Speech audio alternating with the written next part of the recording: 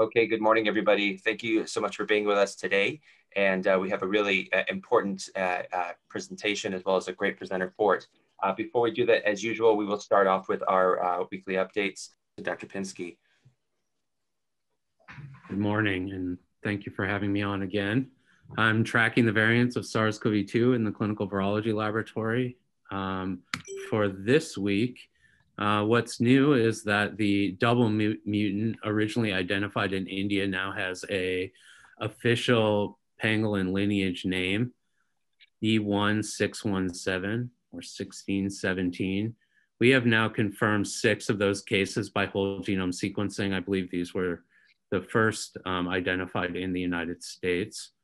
Um, and there are now 10 presumptive uh, cases based on RT-PCR screening, and we're working on sequencing those for confirmation. Um, in addition, uh, we've seen a number of additional uh, P1 variants uh, originally identified from Brazil. Uh, three have been confirmed by whole genome sequencing, and there are additional seven presumptive cases that await confirmation. Uh, as Brian mentioned, uh, most of the variants that we're seeing are now the B117 or UK variant uh, that contains this mutation N501Y, um, as well as the California variant, uh, which contains this mutation L452R. And I'll show that on the, on the next slide. Uh, and, and, just to emphasize, these mu mutations, the, these variants, though we are monitoring them and see them in our population, they account for a very small percentage of those individuals that are positive for SARS-CoV-2. So here's our epidemiologic curve looking at uh, L52R as a marker for the California variant, uh, uh, 427, 429. And then in blue, N501Y, which is the marker for the UK variant, N501Y alone. And you can see uh, over the last uh, how many weeks is that? Nine weeks. Um, we've seen a decrease in the number of cases that we've uh, genotyped, although there is a little bit of a bump here that cor correlates with a slightly increased positivity rate, although um, uh, don't get qu concerned quite yet. We are monitoring and we'll see what happens there.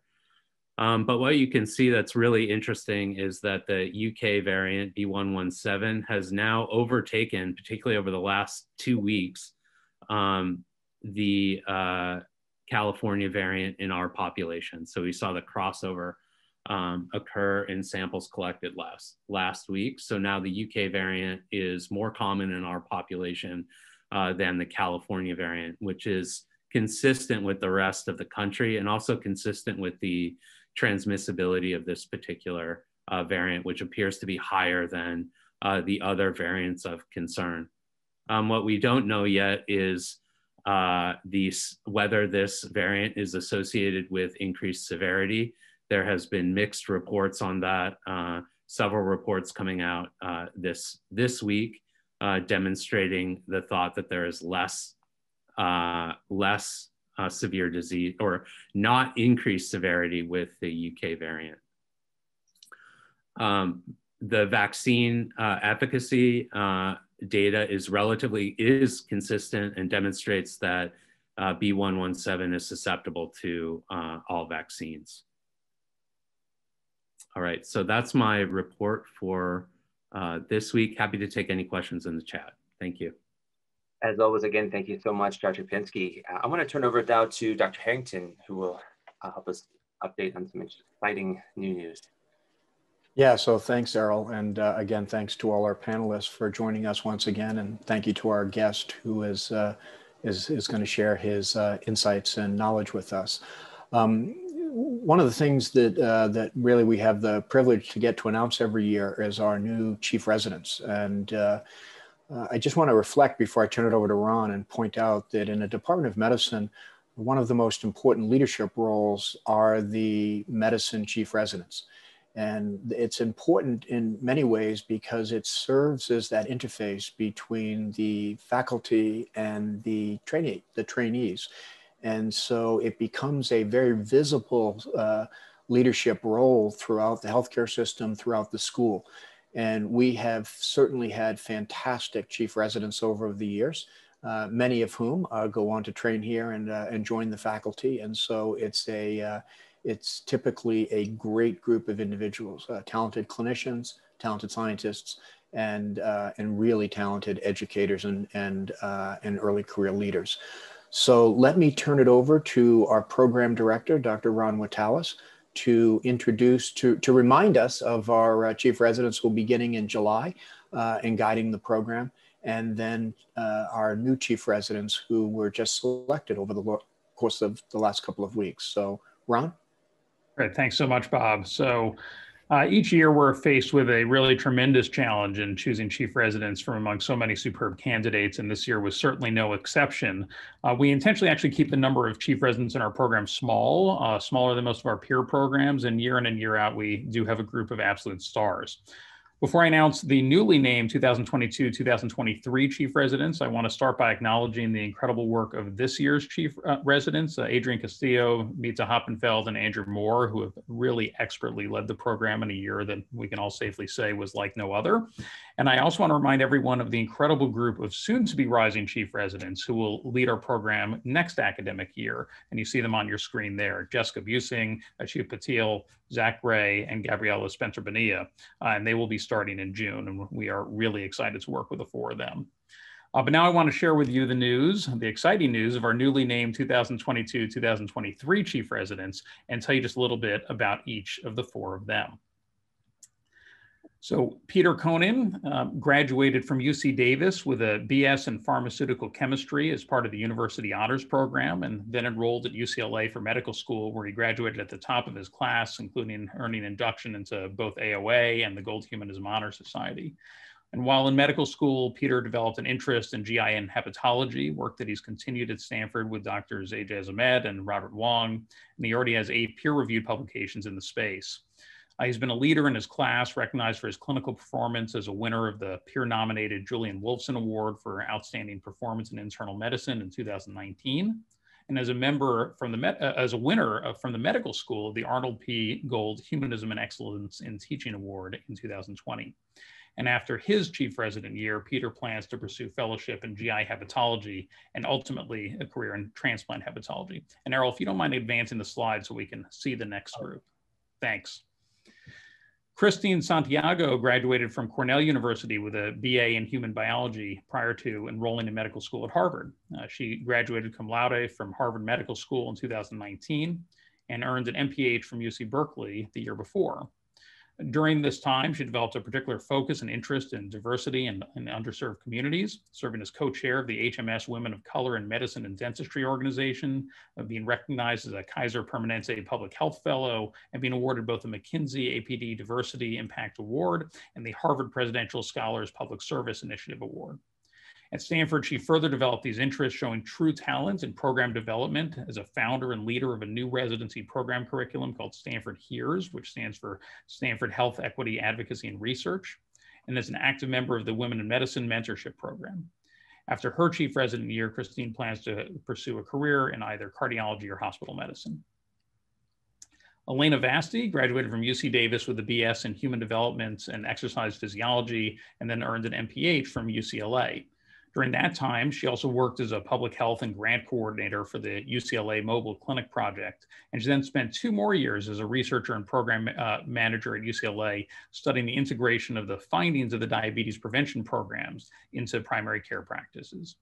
She subsequently enrolled at UCSF for medical school, where she continued her interest in clinical research, uh, implementing a pilot health study assessing self monitoring behavior and optimization of blood pressure for patients in medically underserved areas. After an outstanding performance in medical school, we were thrilled when she joined Stanford for residency, and she's been a real leader and star from day one. She uh, was a winner of the peer-nominated Julian Wolfson Award uh, as an intern, uh, and she's been an elected class representative for each of her years as a resident. And she's pursued research with doctors Paul Wang, Fatima Rodriguez, and Alex Sandhu in cardiology. Lane is universally recognized for her professionalism, positivity, and teamwork. And after her chief resident year, Elena plans a career in cardiology. And finally, Sarah Waliany graduated from USC, magna cum laude with a BS in biological sciences and was awarded the Presidential Scholarship from USC for all four years of her undergraduate education. And she then came to Stanford, where she earned both her MD as well as an MS in epidemiology and clinical research. She was a superb medical student, was inducted into the Gold Humanism Honor Society, and she demonstrated really a superb research productivity while working in the uh, growing field of cardio-oncology uh, with a large team, including Joel, Dr. Joel Neal, Sandy Srinivas, Jason Gotlib, Sid Jaiswal, Han Zhu, and myself. And she's been an outstanding clinical resident while simultaneously continuing her really extraordinary research productivity during residency. She is a recipient of Stanford's TRAM grants. She's authored 14 total peer reviewed publications. And during residency alone, she's published two first author manuscripts in JACC Cardio Oncology. After her chief resident year, Sarah plans to pursue fellowship in oncology and ultimately plans a career in thoracic oncology. Um, as Dr. Harrington said, the chief residents play a vital role for the residency program and for the department, and we uh, really couldn't be more excited to have the opportunity to work with such an incredibly talented group. And then as a last reminder, I want to remind everybody that we have our annual resident research symposium this evening at 5.30 p.m. It's uh, a really fun and inspiring uh, event every year, and it gives you a chance to see the work and uh, to support our residents. And as it's 100% virtual for the second straight year, it's easy to attend. Uh, the login information by Zoom was included in yesterday's Department of Medicine weekly updates, and please reach out to me if you have any questions. So thanks for the time, and I hope you'll all join me in congratulating and giving a virtual round of applause uh, to the 2022-2023 Chief Residents, Peter, Christine, Elena, and Sarah. Uh, thank you, Dr. Witteles. As usual, that's a pretty amazing group of uh, chief residents, and congratulations to all the, the current and future chief residents. Uh, next, I'd like to uh, briefly uh, just mention next week we have Dr. Julie Parsonnet, who's going to talk to us more about uh, COVID-19 and herd immunity, followed by Dr. Eric Goosby, who's a member of uh, President Biden's uh, coronavirus task force, talking to us about uh, global health. Following about uh, following with Dr. Um, Latha Palaniappan, uh, it's going to talk to us about Asian health, uh, Islander health. So thanks so much for everybody. I'd like to next turn over the introduction to Dr. Patricia Nguyen. Dr. Patricia Nguyen's assistant professor of medicine, cardiovascular medicine at the Palo Alto VA, and among other things, she's a member of our inclusion and diversity committee. It was Dr. Nguyen who had the amazing idea to invite Dr. Lu, that, who's presenting today, when she came upon, upon Dr. Lu's amazing uh, um, email that talking about the uh, violence that's been spreading recently. So Dr. Nguyen, thanks so much for being here and uh, introducing. Thank you, Errol. And uh, I have the honor of introducing Dr. Lu. So Dr. Michael Lu was born in Taiwan and he grew up in the Bay Area and is a die-hard San Francisco Giants fan. He graduated actually from Stanford University with a Bachelor's of Arts in Political Science and Human Biology. He then pursued advanced degrees in public policy, epidemiology, and health and medical sciences at Harvard and UC Berkeley. From there, he attended UCSF Medical School and completed his training in OBGYN at UC Irvine. In 1998, Dr. Lu joined the faculty at UCLA and he rose quickly in the ranks to become a professor in the Department of OBGYN and the Department of Community Health Services. At UCLA, Dr. Lu brought in more than $50 million in research and training grants. He's well known for his research on racial ethnic disparities in birth outcomes from a life course perspective. In 2017, he took a leave of absence from UCLA to direct the Federal Maternal and Child Health Bureau in the Obama administration. He managed a budget of more than $1.2 billion and a portfolio of 100 federal programs. He made a significant impact on reducing maternal and fetal mortality in the US. For his service, he was awarded the Herbert Hoover Humphrey Award for Service to America. In 2019, Dr. Lu became the Dean of the UC Berkeley School of Public Health. Today, we are fortunate that he's returning to his alma mater to share his perspective on the invisibility of anti-Asian American racism. Dr. Lu, thank you so much for joining us. Thank you so much, Patricia. Can, can you hear me okay? Yes. Yes. And I'm going to go ahead and share my screen.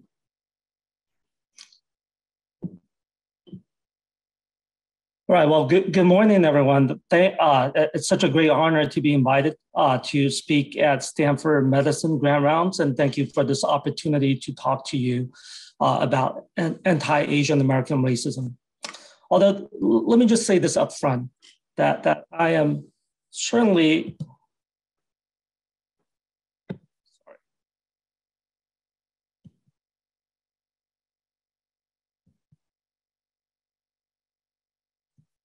Hey, Patricia, my slides are not advancing. Oh, Errol, can you assist with that? Uh, you might need to hover over, I don't know if you have two screens, uh, hover over this shared screen, screen to advance it.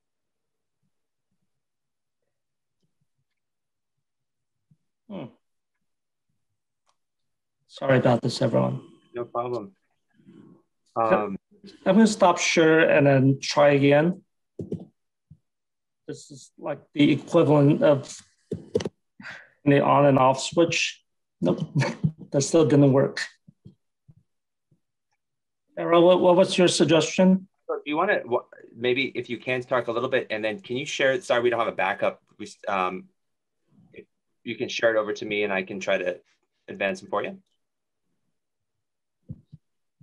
One second. It's a fairly sizable uh, document. Hmm. Do you have one screen or? Oh, there we go. I just have one screen. I, I, I'm, I'm sorry about this. Oh, no worries. I think it's probably at some technical difficulties we can't control.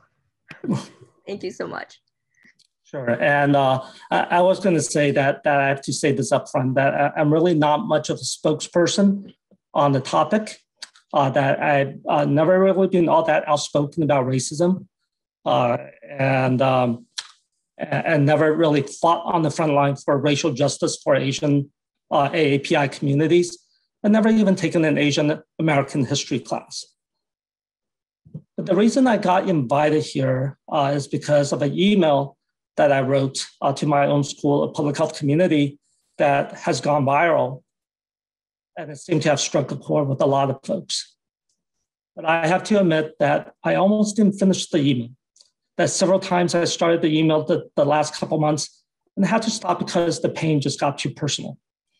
So I started writing this email in early February after the fatal assault of Vicha Ratanapakdee, the 84 year old immigrant from Thailand who was violently shoved to the ground while on his morning walk in the neighborhood.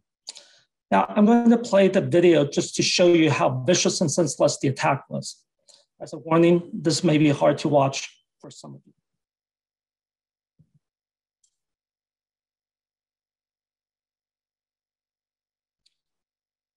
Bashar never regained consciousness after the fall. He died three days later at San Francisco General Hospital. Again, I tried to start writing the email again after the murder of Angelo Quinto by the police came to light in late February. Now, Angelo was a Navy veteran, 30 years old. Back on December 26, concerned family members had called the police because he was having some mental health problems but instead of helping, one officer handcuffed Angelo while another pinned him down with a knee on his neck for at least five minutes. All the while, Angelo was pleading, Please don't kill me. Please don't kill me. But the officer never took his knee off Angelo until he became lifeless, and Angelo died three days later in the hospital. What has been really troubling to me about this case was that despite similarity to the murder of George Floyd, there really has been hardly any media coverage and very little outcry for justice for Angelo. And then again, I tried to start writing the email uh, again in early March after the spate of anti-Asian violence right here in the Bay Area, right, right in our own backyard. I'm going to show you a couple more videos. And again, a warning, the, these senseless acts of violence are truly heartbreaking to watch.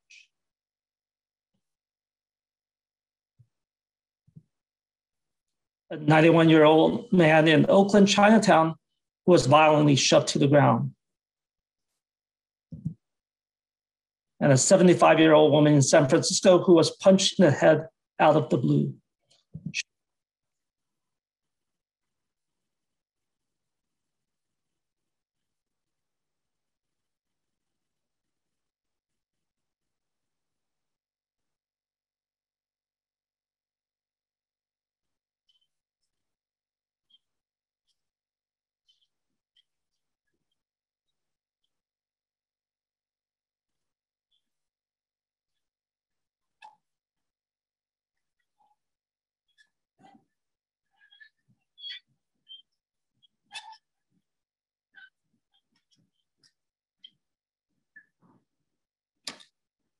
And I, I, don't know if you noticed this, but, but just want to point out that while the paramedics were attending to the attacker on the gurney, the, the, the victim was actually left standing on her own to care for herself. Uh, it's almost as if she was invisible. Now, nationally, there, there has been a surge in anti Asian violence with close to 3,800 anti Asian racist incidents reported to stop AAPI hate since the start of the pandemic. But each time I started writing the email, I thought because I, I, I just, uh, before I could finish, not, not, not because I don't know what to say, I know it only too well. As a dean, one of my jobs, whenever there has been a national tragedy, a mass shooting, a horrific act of violence, is to be the chief consoler to my community to offer my support and condolences, to express our shared grief, to make sense of the senseless. I did it after George Floyd. I did it after the Capitol riot, but I just couldn't do it this time. In fact, my assistant dean of students kept telling me, you've gotta say something. The students are expecting you to say something. I just told her that, that I tried, but I can't. And I can't really because the pain was getting too personal. It took me into some dark places, some dark recesses of my psyche that I hadn't visited in ages. It brought out all these memories, memories of all the insults and indignities that I had accumulated and repressed all these years, including the story that I shared in the email, which I've actually never talked about in public before, never told my parents, never actually even shared with my wife. It took me back to my first experience of racism at age 11 a few months after my family immigrated to Concord in the East Bay from Taiwan. And one day I was riding my bike in the neighborhood and was stopped by a little white girl shouting something. Now, she couldn't have been more than six years old. So I stopped the bike to hear what she was saying. And even though I could barely understand English at the time, I could tell that she was shouting racial slurs and making a slanted eyes gesture and telling me to go back to where I came from. Uh, years later, I would often wonder what could have filled her heart with so much prejudice, so much hate at such a young age. And what made her feel so privileged on the basis of race that entitled her to put down a stranger twice her age and size. But at the time, I didn't know what to say or do. So I just left, rode away on my bike. I didn't even tell my parents because I didn't want to worry them. I just put it in a box, seal it, and then store it away somewhere in some compartment back in the deep, deep, deep in my mind. Frankly, all I wanted to do was to fit in, to belong. And I thought that if I just kept my head down and worked hard, one day I would prove my worth and earn my rightful place in this country. And like many of my AAPI friends, that's how I've learned to deal with racism most of my life. But then on March 17th, the Atlanta shooting happened, where eight people were gunned down, include, including six Asian women. And that was the day I said, enough is enough. It was a wake up call for me. I was wrong for not having spoken out earlier. And by not speaking out more, I've contributed to the invisibility of anti-Asian American racism. It's not taught in most textbooks. It's not much talked about in the media. And despite the surge of anti-Asian violence since the pandemic started, despite all of these horrific crimes caught on tape, until Atlanta, there have been few mass protests, no call for justice, no national reckoning.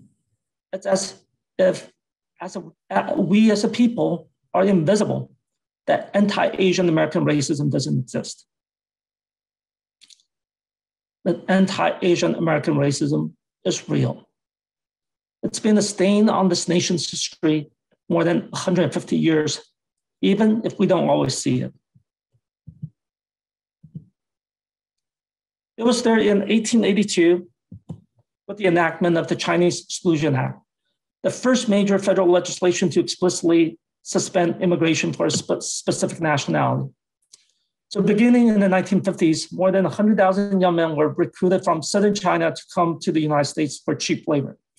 They worked as miners and farmers and factory workers and fishermen. They took work that nobody else wanted. They reclaimed swampland in the Sacramento Delta.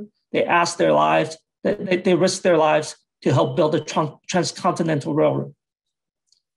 Then came the economic downturn in the 1870s, which stirred up a whole lot of racism and xenophobia that demonized Chinese immigrants as the yellow peril. Amidst natives' outcry that the Chinese are taking their jobs, waves of anti Chinese violence and legislation swept across the US. There was the 1871 Chinese massacre, the worst lynching in US history, when a mob of 500 white men stormed Los Angeles Chinatown, where they murdered and lynched 19 Chinese immigrants, including a 14 year old boy and a doctor. And there was the passage of the Chinese Exclusion Act in 1882, promoted locally by attorney named John Henry Boalt. Now, if that name sounds familiar to you, it's because the law school at Berkeley was actually named after him for more than 100 years. And it wasn't until recently that his anti Chinese racist writings were discovered that Berkeley decided to rename its law school. The exclusion of Chinese immigrants in immigrants from other Asian countries because of the demand for cheap labor. But soon they too faced similar discriminations and exclusions. The Japanese in 1907, the Indians in 1917. Then in 2024, uh, in 1924, these laws were consolidated under the Immigration Act of 1924, which fully excluded all Asian immigrants, including Chinese, Japanese, Koreans, Indians, denied them citizenship and naturalization, and prevented from marrying Caucasians or owning land. Asian immigrants would not be granted naturalization rights until 1952, 70 years after the Chinese Exclusion Act. Anti Asian racism was alive and well in 1942 when 100,000 Japanese Americans were sent to internment camps. All the while, brave Japanese American men in uniform fought against Germany and Japan to defend our freedom. And some Japanese American women worked as Rosie the Riveter at the Kaiser shipyard in Richmond. They too were rounded up and sent to the internment camps. How many of you have heard of Vincent Chin? In 1982, Vincent Chin, a Chinese American engineer in Detroit, about to get married in a month, was out celebrating his bachelor's party with friends when he got into a scuffle with two white auto workers who mistook him as Japanese and blamed him for the loss of their jobs. The two men bludgeoned Vincent with a baseball bat until his head cracked open. Vincent was 27. Now, despite confessing to their crimes, the two men never served time in prison. And how many of you ever heard of Balbir Singh Sodhi? On September 15, 2001, four days after 9 11, Balbir became the first victim of post 9 11 hate crime. An immigrant of Sikh faith from India and a gas station owner in Arizona Balbir was shot five times by a gunman who mistook him for a Muslim because of the turban that he wore. The gunman had told his friends earlier that day that he was going to go out and shoot some towelheads. Balbir was 52. In times of crises, anti Asian scapegoating has become an American tradition. We saw it after 9 11 with the surge of hate crimes against many of our South Asian American communities of Muslim, Hindu, and Sikh faith. And we're seeing again now, anti Asian racism has been on the rise ever since the beginning of this pandemic, inflamed by former President Trump's racist and xenophobic rhetoric about the Chinese virus or flu and spread by his followers, even as many AAPI frontline workers put their lives at risk every day to protect the public's health. But much of the anti-Asian racism don't make the headlines. Most of them actually don't even get reported. Of the 3,800 racist incidents that were reported to stop AAPI hate, nearly two thirds were verbal harassments and name calling. About one fifth were avoidance and shunning. 11% were physical assaults. As I said in the email, anti Asian racism comes in all forms. We're made fun of for, for the way we look, the way we drive, what we eat, what we wear, how we speak, how we parent.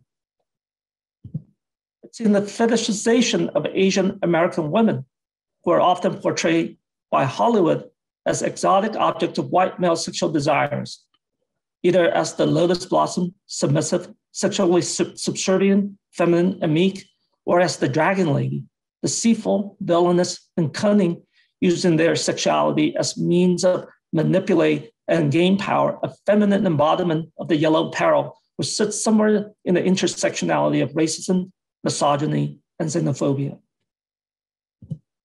It's, it's in the desexualization of Asian men. Now, growing up, there were no leading men uh, in, in, in Hollywood. Uh, and well, there was Fu Manchu, the sinister villain who embodied the yellow peril. And then there was Mr. Yunioshi in, in Breakfast at Tiffany's, played by Mickey Rooney. But, but the, the movie that still haunts me and many of my friends was 16 Candles. Re- re- remember the guy on the left? Wang the Dong? Man, I, I, I, I wanted to be Jake so badly instead that I wanted nothing to do with being Asian American. Anti-Asian racism is all also about being treated like a perpetual foreigner. Getting that question, where are you really from? No matter how many years or how many generations you've been in this country. Now, I recall my first Thanksgiving dinner with my wife's extended family before we got married. My wife uh, is white, uh, and so so uh, it was just a miserable dinner. Uh, first of all, there there was the grandma uh, who called me a Chinaman all night long, but everyone just laughed it off because of her age and her dementia. But then there was also my wife's aunt was trying so hard to be a good host. She was trying so hard to be inclusive for me uh, during dinner conversation. But the only thing that she could think of asking me in front of everybody during dinner was about foot binding. She, she, would, she, she asked sincerely, why did Chinese men bind the feet of their women? Well, I was about 35 at the time. I'd had spent uh, twice as long in this country as I had in, in Taiwan. I was naturalized uh, at age 18. I had gotten some national recognition for my work on, uh, on advancing women's reproductive rights and health equity. And yet somehow she still thought that I would have closer connection with 19th century Qing dynasty misogyny than I have with 21st century reproductive justice in America. A perpetual foreigner, a guest in my own home. And by the way, calling us the, the model minority is no accolade. We seem to be going back and forth between two stereotypes. Either we're the perpetual corner or we're the model minority. Now, now I know what some of you are, are, are thinking, right? How, how can you complain about being called a model minority? Just look at yourself. You're the dean of one of the best schools of public health at one of the best universities in the world. And many Asian Americans in your audience today are some of the best doctors in America. You've all made it in America. You've all achieved the American dream. So what's so bad about that? Well, I can tell you there are at least three things that are really, really wrong uh, uh, about the, the model minority myth. First, is that by lumping all AAPIs together, it obscures the fact that many in our communities are actually struggling. It masks a poverty rate of 29% among Burmese Americans and 22% amongst Hmong Americans, compared to less than 12% amongst all Asian Americans. And while infant mortality was 3.6 deaths per thousand live births for Asian Americans in 2018, it was 9.4 amongst Native Americans and other Pacific Islanders. And while 6% of Japanese Americans and 8% of Taiwanese Americans had no insurance, 20% of Korean Americans and 22% of Nepalese Americans had no health insurance. Without this aggregation of health and other data for AAPI groups, the needs of many of our diverse communities will remain invisible. Second is that by pitting us against other BIPOC communities, we become a convenient rationalization for white supremacy. So the argument goes something like this. Look, look at them Asian Americans. They're, they also face racism. They face all sorts of adversity. But with hard work and family values, they've been able to overcome it. So racism has nothing to do with the persistent struggles of Black and other communities of color, ignoring that many AAPI communities also struggle because of structural racism. What this does is that it pits the API communities, in fact, uh, what the BIPOC community, it weaponizes the API communities uh, as a weapon for white supremacy and has fueled anti-Black racism among Asian Americans and anti-Asian racism among African Americans that erupted in LA riot and persists today in many marginalized communities.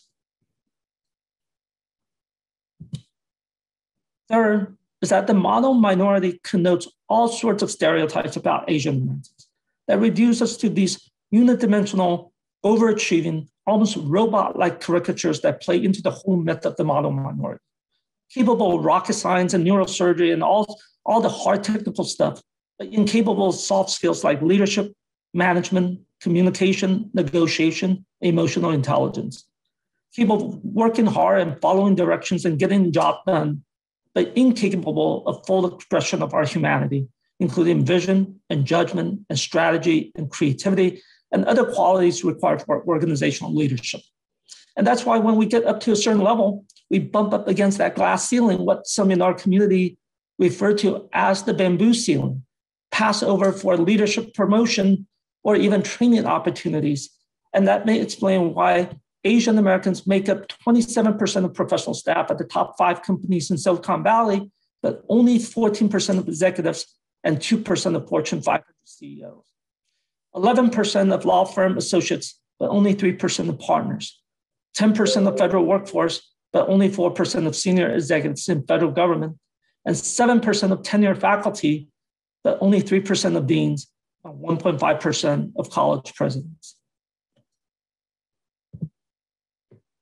So, what can we do to stop anti Asian American racism? Well, let me suggest three things. To my AAPI colleagues and friends, we must speak up. A strategy that I and so many of my AAPI friends and colleagues have used for, for such a long time. Just keep our head down and work hard to prove our worth, to earn our rightful place. That's only going to get us so far in America. We need to speak up, make our voices heard, share our stories of racism. This is our moment to name it, to confront it, to shine a light on it. Our collective pain will remain invisible until we call it out. And like me and my friends, there has always been courageous Asian Americans who have been speaking out against racism and racial injustice. People like Gordon Hirabayashi, who became a conscious objector for refusing to go to the internment camps people like Yuri Kochiyama, who fought side by side with Malcolm X for our civil liberties and equality, including reparation for the wrongful internment of Japanese Americans in World War II. And let's not forget Yuji Ichioka at MIT, two Berkeley graduate students who came up with the term Asian American in 1968 as a direct rejection of the more pejorative terms of Asiatics and Orientals and, and founded the Asian American Political Alliance which launched the Asian American movement in this country. If we don't want to be invisible anymore, let's make sure that our history is taught in the schools, that our contributions are recognized, that the needs, the pains of our diverse communities are not ignored and forgotten, that our voices are heard. And ultimately, if we want to move out of the guest room in our own home, we have to get politically involved. I'm glad to see that my kids now have role models in public service to look up to, that they can see themselves in people like Vice President Kamala Harris and presidential candidate Andrew Yang, Senators Mazie Hirono and Tammy Duckworth, and the 15 House members, which is more than twice than in year 2000. Vivek Murthy, who's the Surgeon General, Shrivasani, uh, Srivasan, and, and the 42 AAPI federal judges who are inspiring a whole generation of AAPIs into public service. But we need more from the White House to every state house, from the halls of Congress to every city hall, from federal courtrooms to corporate war rooms. We need to have representation if we're ever going to move out of the guest room in our own house. To my non AAPI colleagues and friends, please speak out. I can't tell you how much it has meant to me since I wrote the email to have so many of my non AAPI friends and colleagues reach out to me to say, I see you. I feel your pain. I stand in solidarity with you. But make sure you, you show solidarity in action and not just in words. This is the last video that I'm going to show you. And again, just, just a warning that this is hard to watch.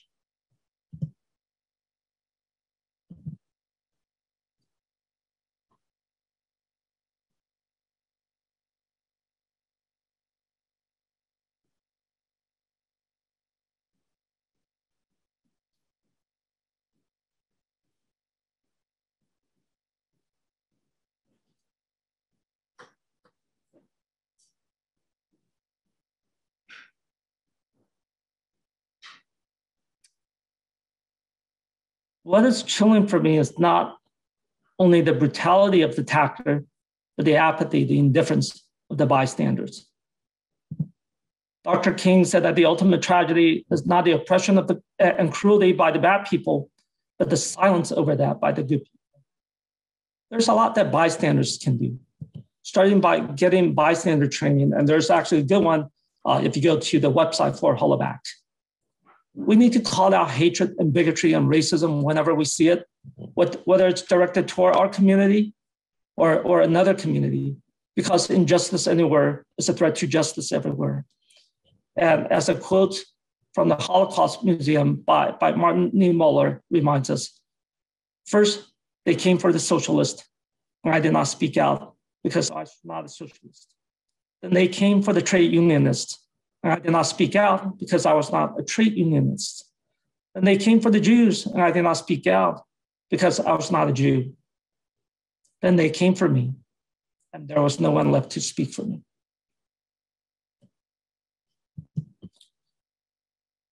Lastly, let's commit ourselves to becoming more anti racist as individuals and as institutions. At the individual level, for those of you who haven't read it, I highly recommend you uh, Kendi's book on how to be an anti-racist. At the institutional level, in the aftermath of George Floyd's murder, many schools are trying to become more anti-racist. I'll share some of the things that we're, be, we're doing at Berkeley Public Health, but certainly would love to learn more about what you're all doing as well. First is a mandatory anti-racist training for all faculty, focused on skills building for anti-racist pedagogy how to engage students in difficult racial conversations. This reminds me uh, of the time when I was at GW before I came to, to Berkeley. Uh, at, one afternoon, a student came to see me. I was the associate dean at the time, uh, and she was uh, she was disappointed uh, with with her faculty in the class uh, in, in, the classroom discussion, where a woman of color was sharing her uh, firsthand account of witnessing police brutality uh, in the neighborhood. To which uh, uh, a white student uh, in the class interrupted her and basically just said, "Yeah, my my my, my, dad is a cop, and I don't think any of these things are are racially motivated." And this was kind of followed by an awkward silence. Uh, and uh, the, the, the, the, professor really did not know what to do with that comment. Uh, and then, uh, so, so after just a, a pause, um, she just moved on, uh, which uh, I, I, think really represents a missed opportunity to engage students in a conversation about race and racism, the kind of conversation that our society isn't able to have today, but, but universities ought to be better. Uh, and uh, yeah, I, I, knew that that professor really well. I knew her heart it's, it's in the right place, but she just didn't have the, the right tools that the uh, to to, uh, uh, to to have these kind of difficult conversations about race and racism. So so so it's about having conversations that that that allows us to to have these kind of dif- difficult racial conversations about how to assess positionality, how to address bystanderism, how to receive racial feedback which may actually be really tough for faculty at Berkeley to take because most of us like to think that we're pretty aware, pretty progressive, uh, and sometimes not even recognizing our blind spots, not even realizing that the actions that, that we have that, that have no racist intent still could have racist effects. So how do we develop the emotional resilience to receive okay, racial feedback, to encourage racial feedback so that we continue to learn and grow to be anti-racist? Now, there's only so much that you can do in a three and a half hour training. So we're also launching a year-long anti-racist teachers academy to provide advanced training for a smaller group of faculty on anti-racist pedagogy with the hope of building up our own internal capacity our own cohort, of black belts and brown belts, who will champion anti-racism and sustain the momentum, sustain the change. The third thing that we're doing to strengthen anti-racism training throughout our curriculum, we're working on defining what are the basic anti-racist competencies that we expect every school public health students to achieve by the time they graduate. We're also piloting an elective course this spring on anti-racism, making sure that the class focuses on developing developing competencies not only around addressing interpersonal racism, but also institutionalized racism. So, how do you dismantle racist policies, practices, and institutions which underlie so much of the health disparities in, in our country? You know, I, I spent the last 20 years uh, going around the country working with communities like Ferguson and Flint and Baltimore uh, to, to, to try to help them address the high rates of maternal and infant mortality in, in those communities. And when I go into those uh, community meetings, it's pretty uh, um, clear to me that, that the, the driver, the root cause of the high rates of maternal infant mortality in those communities are, uh, is, is the institutionalized racism that's, that's manifest in differential access to not just healthcare, but, but housing and jobs and opportunities, uh, the, the, the social conditions that that are required uh, to keep everyone healthy. And yet, because most of us in healthcare and in public health uh, aren't trained to do much about institutionalized racism, so we always go back to the easy stuff. Right? So for 20 years, I've been trying to like enhance prenatal care or to, to support care coordination. But, but I think if we are really going to make a difference, if we're really going to, to advance health equity in this country, we need to be equipping the next generation of healthcare and public health change makers with the tools and skills that they need to dismantle institutionalized racism. The fourth thing that we're undertaking is a critical reexamination of people and processes, from faculty recruitment to retention, to, to staff hiring and merits, to admissions and financial aid, taking a deep dive in how we're dispersing our financial aid and, and making sure that we're optimizing and, and advancing our DEI goals to, to our business practices, including purchasing and contracting, to make sure that we're walking the walk and not just talking the talk. And lastly, we're, we're, we've convened a school-wide committee to, to help us develop a three-year and five-year strategic plan to becoming an anti-racist institution, to make sure that when the spotlight dims, when the national attention turns to something else, that we will sustain our effort on becoming an anti-racist institution. And the one last thing I'll, I'll, I'll say uh, is that we must acknowledge racism as a public health crisis. It's the cause of the cause. It's the root cause of much of the health disparities that we're working to eliminate.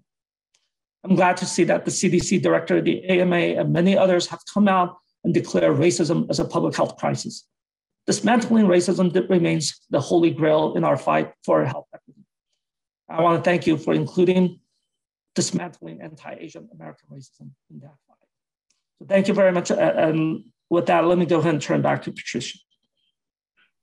Thank you, Dr. Lu, for that insightful conversation and sharing your personal experiences with racism. And I too also have some personal experiences that I've also buried and not talked about and put in a box and just kind of uh, stuck my head down and try to work as hard as possible to to rise above and just to achieve what um, what my parents want me to achieve, what I want to achieve, and just to uh, to fit in, if you will, and succeed. Um, so I think when I look back and I think about why why this happens in particular to the Asian American community, I think it I think it has so much to do with our culture and how we're raised to kind of meld in and you know stick our heads down and work hard and you know respect our parents and not kind of be individuals. And i think that that is very much in the culture that i grew up in in the family that i grew up in. And i think to change that and try to have more Asian Americans feel like they should speak out, we should really reach the younger generation. Because, you know, I've 20, I'm 20, like I've built in, like I'm an old dog, right? I'm not going to change how I am. I'm not even going to try, but it's very difficult, right, to do that. And so I was wondering, like, what your thoughts on that issue are. Like, how do we reach the, you know, parents of the children or the children themselves to say, you know, it's it's important to be have a voice. It's important to do other things than science or be an actor or whatever like be a po- politician. Like how do we advocate that? Have you ever have thought about those strategies? Yeah yeah no i i i, think yeah first of all okay we we must be the change that we want to see right? I, I know it's really really hard. Uh and believe me yeah like uh, when when um and you and okay, first reach out to me to to do a grand round on anti-Asian racism uh, that that that my first instinct was was to decline it. Uh, and uh, uh, if you had asked me to talk about any other kinds of racism, talk about racial disparities, for which I've done research for the last 20 years, I could have easily done it. But, but this was kind of really, really hard. And, and so my first instinct was to to uh, to say no. But, but in a way, I, I think those of us you know, who are in leadership positions, that do have a moral responsibility to speak up. That we do have the bully pulpit to to to to uh, to shine a spotlight uh, on anti-Asian racism, uh, to to make sure that we're doing everything we can. Uh, yeah, if not for ourselves, but at least for our children and and, and their children. Uh, right, uh, but but but I think you're you're absolutely right, and that that's where where I'm excited to have this opportunity uh, to also t- to talk with the residents and, and talk with the medical students, to talk with the young people out there, because uh, they're teaching me a lot. Uh, they're, they're teaching me you know, a lot. Uh, just just the, the, the, way that we've been doing things, just keep our head down and, and you know, don't make wave, don't complain, uh, and just kind of work hard. Uh, and you'll get there and you'll prove your worth and you'll earn your rightful place uh, you're never going to get out of the guest room in, in, your own house if you keep doing that. Uh, and so I do hope that that that uh, that that the young people uh, uh, in in uh, in this audience. Um, okay, please, please do speak up and please do get involved, and let's make sure that that that that that we that you know, that let's make sure that that our our voices are heard, that our history is taught in the schools, that our contributions are recognized, uh, and that our pains are not ignored. Thank you, Dr. Lu. So do the panels have any questions? There's some questions in the chat. I could obviously read those questions. If you, does the, do the panels have any questions I could defer to you. If not, I, I, I text a few. We, we decided that um, there's some great questions from Dr. Subak and Dr. Wynn. You, do you want to moderate those? Sure, I will do that. So Dr. Subak says, thanks for a heart-wrenching, horrific, and important talk. Have you found mandatory anti-racist training versus strongly encouraged to be effective? Uh, yeah, yeah. When I um, uh, uh, I, I only been a dean for, for uh, uh, about a year and a half. Uh, and when I first had discussed this idea at the Council of Deans at Berkeley, uh, some of the more senior deans kind of looked at me with a lot of skepticism and a lot of cynicism. I said, all right, how are you going to like mandate okay, your, your faculty uh, to uh, to to take uh, the the, the, the training. Well, it turned out that that that yeah, I'm happy to say that okay, yeah, uh, that that virtually all. Yeah, there, there were a few that didn't uh, because they you know, okay, weren't around or they weren't uh, teaching. Uh, but but virtually okay, all the the, the faculty, uh, all of my faculty took the you know, took, took the training. And I think, you know, partly it's because of the time that we're in. You know, partly you know, the, the, the moment that we're in. You know, I, I think it was kind of Winston Christ, okay, Winston Churchill who said, you, know, you never want to waste a good crisis. You know, I, I think you know, we're able to have the kind of conversation today that we weren't able to have even 18 months ago. You uh, a lot of it is due to the the, the, the, the global and national uh, racial reckoning around racial justice uh, that started after okay, George Floyd. Uh, and uh, we're, we're, able to like even talk about Asian American racism uh, uh, that, that we haven't been able to uh, you know, previously. So, so I do think that that you know, okay, we really need to like seize the moment uh, and make sure that that we use this as an opportunity uh, to uh, to reach you know, a lot of the faculty you know, who I think um, intuitively get this, but just don't know quite what to do, uh, and to use this opportunity to help them become more anti-racist as well. Thank you, Dr. Wynn. I'm sorry, Dr. Lu. As a reading question from Dr. Wynn, Dr. Linda Wynn. She says, thank you for a powerful talk, Dr. Lu. This was hard to listen to, but because of similar experiences. Thank you for calling out the need to be heard and speak up. Can you comment on what happened at Harvard, where the anti-Asian response fell short when the website said, you may wish that you weren't Asian? What did not sit well with me was that in response to the backlash, the apology letter came from an Asian man. This felt like scapegoating. As a leading institution, how do we do better, keep each other accountable, and lead by example? Right, and, and it is of that uh, accountability uh, and, and, so for all of us who are in leadership positions, okay, whether you're AAPI of, or, or non-AAPI, we, ha- we have a common cause here. We, we have a common fight here against uh, of racism and hatred and oppression and white supremacy. Uh, and, um, and, and, I do think that, that uh, instead of tearing each other down, uh, instead of like pitting one community against another community. Uh, it's kind of really uh, time that that we, know, I think we have a choice to make here, right? So so so uh, the question uh, kind of really is okay, what what kind of country uh, do we kind of want ours to be, and what kind of country do we want our children to grow up in, and um, yeah, I, I think many of us, uh, I, I, believe most of us in this uh, round round today feel like we're better than this. Uh, and this is a, a, historical moment. This is a pivotal moment in, in the history of this nation uh, where yeah, okay, we're, we're really trying to become uh, a better version of ourselves. That's so true, Dr. Lu. Um, I think we're at the top of the hour. I could take more questions, Errol, or would you think we should Dr. You... Lu, if you're still okay, can we go a couple more minutes to get a, a couple more questions if your time sure. Sure, absolutely.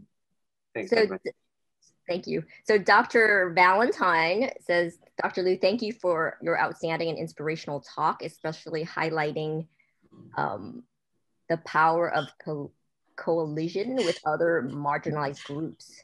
Can you say more about how we can support and expand those interactions? Yeah, th- thank you for for for that that question. You I, I was uh, at a uh, at, at, uh, at a rally at Berkeley. Uh, I think uh, a couple weekends ago, and it was just so heartwarming uh, to see people of all backgrounds at at the rally, and um, so so so I I I, I do think the the if you're non-AAPI, uh, to, uh, to, to, to speak up and to speak out uh, when you see racism, when you see bigotry, when you uh, uh, see xenophobia, uh, and, um, and, and to, to make sure that that you know that that, that you can work on uh, uh, continue to become like more anti-racist. Uh, I, I think uh, yeah, to, to take the opportunity to learn more about our history, uh, to to uh, to to learn about what um, what yeah, what bystanders can do. I think yeah, there, there are a lot of things that that we all could do to support each other uh, and to really help our communities and our nation become more anti-racist. That's so true. We should we should all work together to fight against racism throughout every institution, every facet of our lives. Um, Wesley Park has asked about, can you address race-based admission policies? I mean, that's a touchy question, I think, in terms of admission policies based on race. Um, but maybe you could enlighten us since you're the dean of the Berkeley School. Uh, uh, uh, it's especially difficult for for uh, a, a, dean at a public university uh, to to address. But but I'll I'll, I'll talk about this. Uh, certainly, uh, like I I do strongly believe in in, in affirmative action. Uh, and again, this is kind of an area where APIs are often pitted against you know, of BIPOC uh, community. And, and I'll just say this: the, the problem you know, has never been about affirmative action. The, the problem for APIs has been the stereotyping of API applicants uh, in, in the admissions process. Uh, and, and so, so I'm 100% for, for, for um, affirmative action uh, uh, for, uh, but, but, but I yeah, uh, also want to make sure that that you know, in in the admissions process, uh, and especially when we're doing holistic reviews, uh, let's make sure that that we consider the the the the the, the, the full humanity of our AAPI applicants and not just kind of reduce them to these simple stereotypes that that that uh, that the simple caricatures uh, that they often get get uh, get boxed in. Yes, I always think that if we if if it was based on economic lines, then you would get all the disadvantaged people, including all races, including white races that are economically disadvantaged um, for the opportunities that are difficult to get when you are poor or recently immigrated or that your parents never went to school. I think that to me is a very important uh, distinction between race-based admission versus economic-based admission, I think, in my mind, but I'm not dean of a public health school. so um, I think we are at the top at uh, 9.06.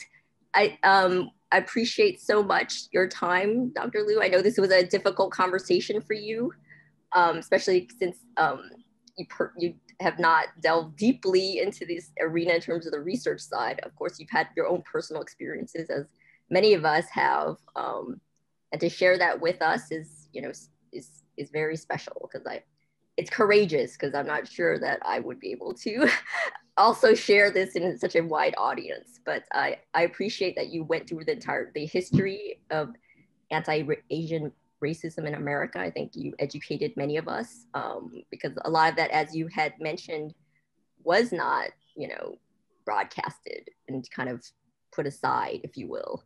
Um, and you're right about us gathering together and being as a group against racism in general and Asians especially rising above what we were trained to be and showing a voice, having a voice, speaking up.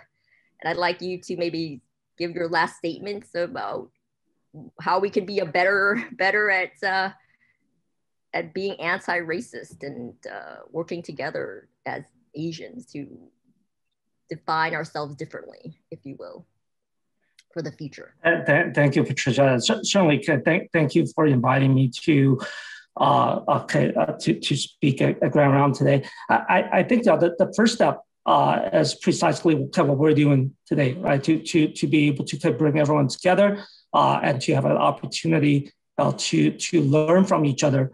Uh, and, and I think the, it's, it's the ability to have kind of these harder conversations, again, that our society isn't able to have, but that, that, that, that universities uh, and especially you know, schools are preparing uh, the, the next generation of uh, physicians and, and uh, public health uh, professionals. We're going to go out and, and, and, help change the world. Uh, I, think we need to be having conversations like this. So, so again, just thank you and thank you all for this opportunity to have this conversation. Uh, thank and thank you guys. I wanted uh, just a, a, few extra thanks uh, to Doctors Dunn and Caceres on behalf of the Inclusion 2021 series. Thanks for helping organize this. I want to say special thank you as well. In the last, especially the last month, we've had a number of faculty very vocal about the anti-Asian violence on social media and through our medium. Um, please let us know if there's anything else we can and should be doing to support each other. And thank you so much for speaking out. Uh, special thank you to Dr. Michelle Berry. is no longer on right now, but also helping uh, Dr. Lu. Thanks for responding so quickly, but I emailed a bunch of people to try to reach out to. I didn't expect you to, to get back to me so quickly. So thank you for doing that. Dr. Wynn, thank you for the introductions. And just there's a number of comments uh, instead of questions, just saying to you, Dr. Lu, uh, basically, thank you for leading by example. Thank you for your presentation. And, and it just probably echoes many other faculty thinking the same thing. Thank you for being with us today and, and doing what you do and leading by example, as Dr. Wang mentioned. Uh, I hope everybody has a great rest of the day.